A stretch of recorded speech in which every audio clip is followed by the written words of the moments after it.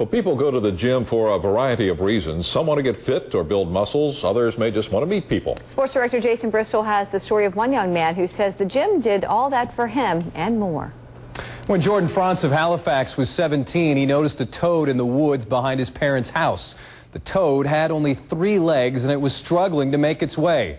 Finally, that toad got to where it was going. And at that very instant, Jordan Franz realized something. His life was very similar. It's a normal night at King's Fitness for Life in Halifax.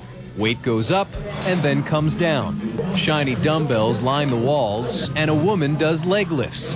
Jordan Franz is here too. Like millions of people, he works out regularly, rep by rep, set after set. And he's all business. The task at hand, building up those arms. It's all towards health. You know, I want to be a healthy person and I want to make sure that I live to a healthy age, you know, old age.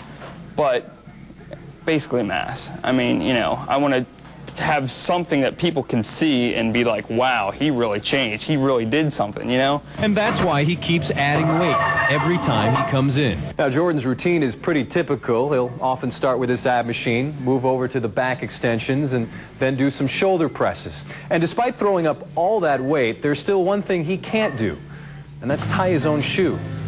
Jordan has cerebral palsy due to a stroke when he was born.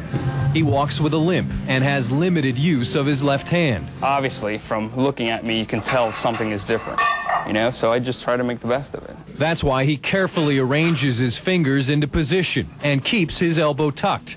He's been lifting for about five years now after a college buddy pushed him into the weight room. All this heavy metal hasn't discouraged him either.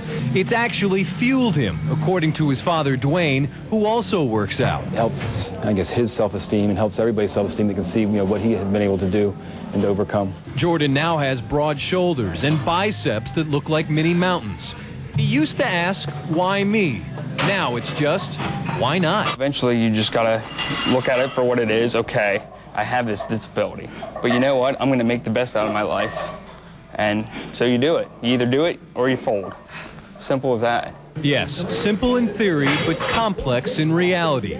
But thanks to some hammer strength, some of the burdens that used to be on these shoulders have now been lifted. Jordan actually calls himself the unlikely toad, and when he's not at the gym, he's at the gym. He works at King's Fitness for Life as well as being a substitute teacher. He hopes to put his degree in social work from Bloomsburg to good work. Jason Bristol, WHP, CBS 21.